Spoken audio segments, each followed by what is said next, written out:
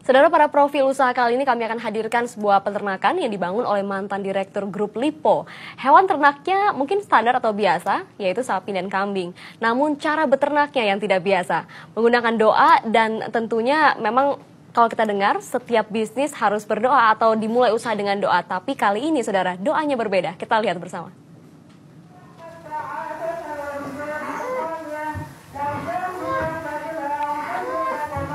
Apakah hewan ternak ini kelihatan bahagia dan tidak stres? Mungkin bagi kita susah untuk membedakannya.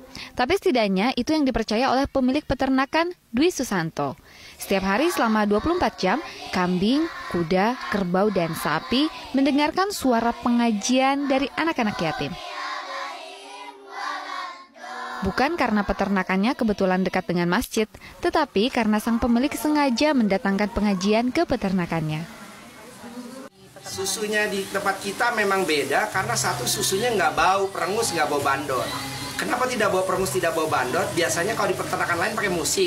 Kalau kita pakai anak-anak yatim yang ngaji selama 24 jam. Jadi dari pagi sampai besok pagi kita punya yatim 2000 digilir untuk ngaji.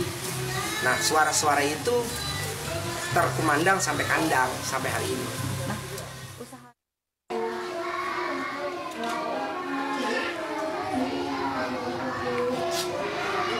Berawal dari 9 ekor kambing, berkembang menjadi 400 ekor. Bisnis ternak terus berkembang dan akhirnya datanglah sapi, kerbau, sampai kuda.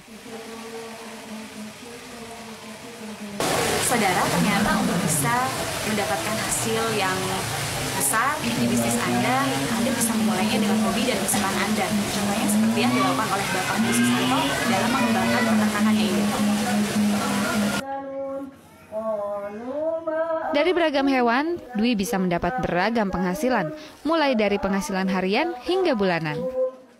Tahun 2000, kita miara kambing 9 ekor, betina 1 ekor jantan. Kita kawinin, beranak, beranak, kita perah. Karena saya miara kambing perah, ada hasilnya harian, mingguan, bulanan, tahunan. Hariannya susu, mingguannya kencing sama kotoran, bulanannya kekah, tahunan ibu kurban berkembang menjadi sapi, kuda, kerbau. Keuntungan terbesar didapat dari menjual sapi yang bisa mencapai 100 juta rupiah per ekor.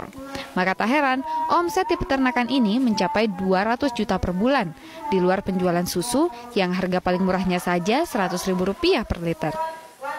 Bisnis peternakan ini juga tidak terlalu terpengaruh dolar karena hewan ternak cukup diberi makan rumput. Sementara dari sisi biaya, yang paling besar adalah gaji karyawan dan pengobatan hewan ternak.